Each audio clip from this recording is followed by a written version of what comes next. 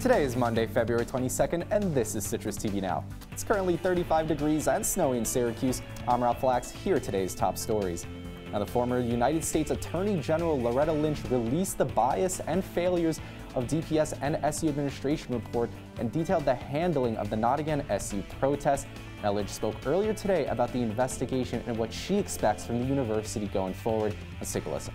We have come up with um, 23 specific recommendations for the Department of Public Service that we feel will improve both their investigations and their community policing and community engagement, and 10 specific recommended changes to current current standard operating procedures and policies that we think will also help them uh, and and begin to regain trust with the community. We had we were working with a law enforcement expert, a former police chief there, uh, from California, who worked with me at the Department of Justice who was the head of the Community Oriented Policing Service uh, at the Department of Justice when I was the Attorney General, and also was the Executive Director of President Obama's Task Force on 21st Century Policing.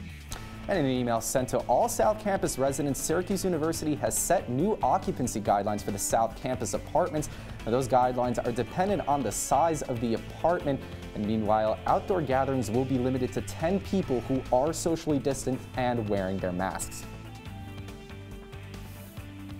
And New York legislators are looking to strip Governor Andrew Cuomo of the emergency powers he has. Now, this comes after Cuomo withheld critical information relating to nursing home deaths.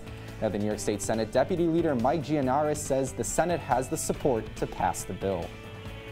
And coming up, Citrus TV has a live special report detailing the former United States General Attorney Loretta Lynch and her DPS report. That's all the time we have on Citrus TV now. For the latest, follow us on Twitter at Citrus TV News and check out our website at citrustv.com. I'm Rob Flaks. Our DPS special report is coming up. Stay with us.